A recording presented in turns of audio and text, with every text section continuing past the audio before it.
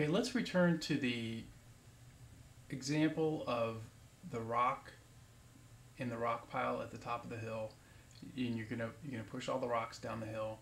You want to know where a particular rock is going to be because you're trying you're trying to determine um, where the rock is.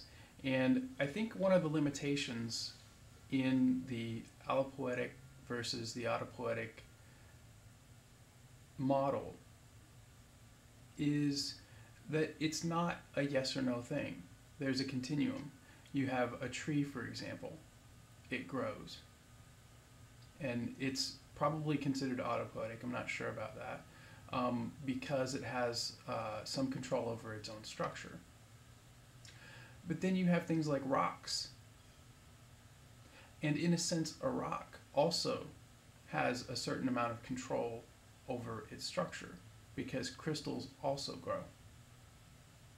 Now, I'm not going to extend this to the remote control yet, but at the same time, when you when you're dealing with a bunch of rocks at the top of a hill and you're going to push those rocks over the hill, our assumption, because of our perception and our understanding of the way the world is, is that that an individual rock doesn't have any control over where it's going.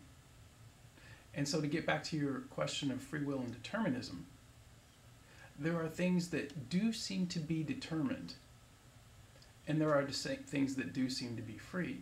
Neither answer is completely correct, but there are there are spheres of our aspects. In other words, there are aspects about the nature of our world that do seem to be very much determined, and there are aspects that seem to be very free.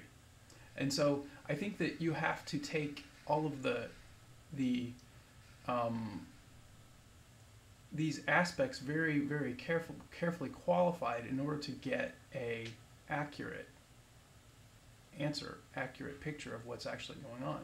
And so back to the rock. In in my view, and it's a very unpopular view, um, the rock does have that small amount of control or ability to determine where it's going to be on the pile at the bottom of the mountain. Um, and that is that is an internal an internal structure of the rock. And for example, if you if you take a rock and you break it, where does it break?